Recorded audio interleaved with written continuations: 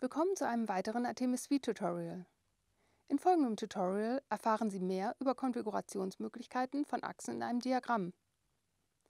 Im aktuellen Beispiel wurde die Loudness versus Time und die Level versus Time Analyse einer Marke berechnet, wobei eine Abszisse für die Zeit und zwei Ordinaten für die Lautheit und den Schalldruckpegel dargestellt werden.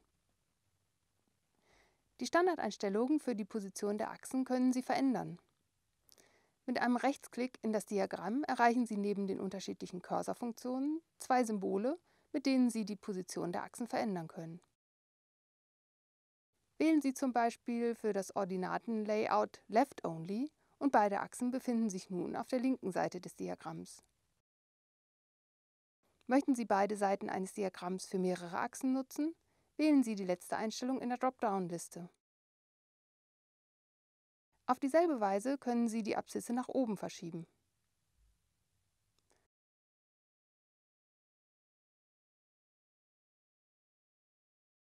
Mit einem Rechtsklick auf eine Achse erreichen Sie deren Properties. In den Properties, die Sie auch über das Properties Tool Window erreichen, können Sie umfangreiche Einstellungen für die jeweilige Achse vornehmen. Verändern Sie den dargestellten Achsenabschnitt per Eingabe der gewünschten Grenzen. Hier können Sie auch die Skalierung festlegen und eine Achse ausblenden.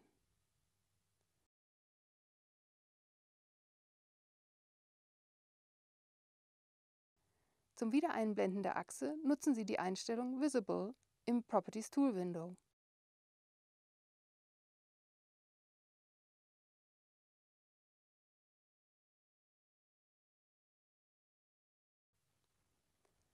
Über das Pfeilsymbol am Anfang des Dialogs erreichen Sie weitere Layout-Einstellungen der Achse. Die erste Option legt fest, wie viel Platz der Achse eingeräumt wird. Bei der Einstellung Small wird in diesem Fall die Einheit der Achse in den Titel geschrieben. Um dies zu verhindern, verändern Sie die Darstellung der Schrift auf Vertical. Mithilfe des nächsten Punktes können Sie die Zahlendarstellung auf einer Frequenzachse verändern. Um dies zu zeigen, wurde die FFT-Average-Analyse einer Marke berechnet. Damit können die Zahlen auf einer Frequenzachse zum Beispiel auch in Zehnerpotenzen dargestellt werden.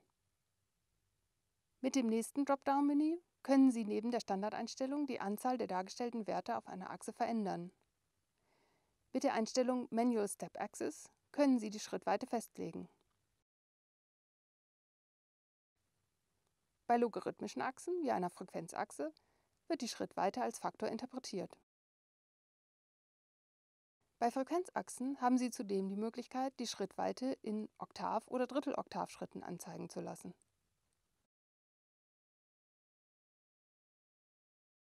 Für die Einstellung von Zeitachsen haben Sie neben der Einstellung Standard Axis die weiteren Optionen Time Axis und DOR Axis.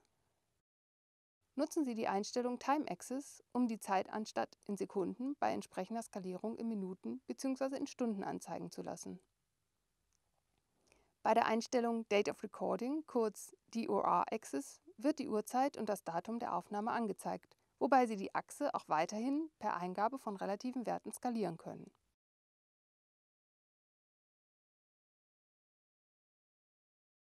Nun haben Sie einen Überblick der Konfigurationsmöglichkeiten von Achsen bekommen und können diese je nach Anforderungen in Ihrem Diagramm anpassen.